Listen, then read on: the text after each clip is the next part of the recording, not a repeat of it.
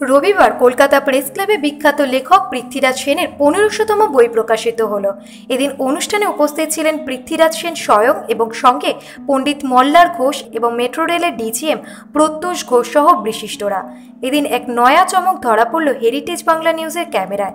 বিশেষত যে কোনো বই প্রকাশের জন্য লেখকদের প্রথম সারির পছন্দের তালিকায় থাকেন নেতা মন্ত্রী অথবা অভিনেতা অভিনেত্রীরা যারা ফিতে কেটে বই প্রকাশ করেন। তবে বই উদ্বোধনের জন্য এবার পৃথ্বীরাজ সেনের সেরা পছন্দ স্কুলের কচিকাচারা এবং তাদের হাতে বই তুলে দিয়েই প্রকাশিত হলো অ্যামাজন অভিযানের। আজকে দিনে স্কুলের ছাত্রছাত্রীরা প্রতিযোগিতার ইঁদুর দৌড়ে ছুটে চলেছে, ফলে সিলেবাসের বাইরে বেরিয়ে পড়াশোনা করবার অভ্যাসটা একেবারেই মিলিয়ে গেছে এবং সঙ্গে বর্তমানে সোশ্যাল মিডিয়ার যুগে সবাই বই পড়ার কথা একেবারেই ভুলে গেছে। সেখানে দাঁড়িয়ে লেখকের এই নয়া প্রয়াস প্রশংসনীয়। রোমাঞ্চে ভরপুর অ্যামাজন অভিযান নিয়ে আশাবাদী লেখক।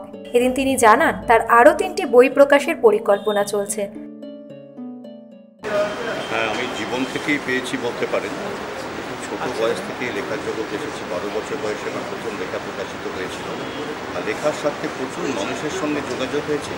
আমি মানুষকে মানুষ করে মনে করি তাদের সঙ্গে মিশি তাদের দৈনন্দিন জীবনের কান্না ফিরে পান নাই উনি আমার গল্প উপন্যাসের নকশিকাথা এবং আমার সবথেকে বড় সৌভাগ্য পাঠকরা সেগুলি পড়েন পড়েন বলি পরবর্তী বইটি অনুপ্রেরণা দিই আমি এখন যে বিষয় নিয়ে লিখছি সেটা হচ্ছে একটি ট্রিলজি আগামী বারোই জানুয়ারি জাতীয় যুব দিবস বিবেকানন্দের জন্মদিন।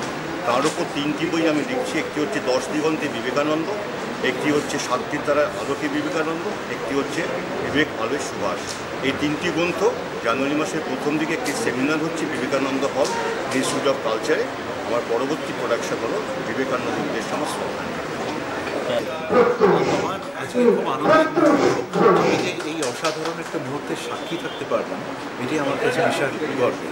এবং পৃথ্বীরাজদার নাম সেই ছোটবেলা থেকে এবং আমাদের একটা ছিল, এরকম একজন সুদর্শন লেখককে দেখা। ছোটবেলা এবং সেইখানে আমরা যখন বইমেলাতে যেতাম, ওনার যেখানে বই পাওয়া যেত, যে স্টলেতে, সেই স্টলেতে ঢোকার জন্যে পনেরোশো লোকের লাইন।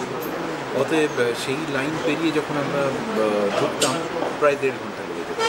সেই অবস্থা থেকে এসে আজকে ওনার সঙ্গে আলাপ এবং এতদিনের সম্পর্ক একটা তৈরি হয়েছে এবং আজকের এই যে মুহূর্তটা এই মুহূর্তটা আমি ঈশ্বরকে ধন্যবাদ দিচ্ছি যে আমি এই মুহূর্তেতে সামিল থাকতে পারছি।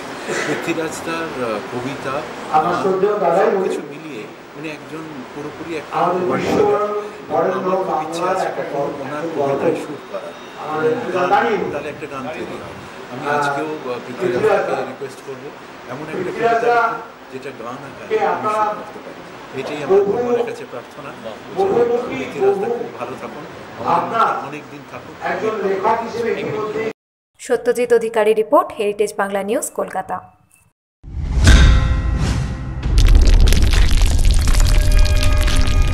Heritage Bangla news ঐতিহ্যের সাথে আধুনিকতার পাশে।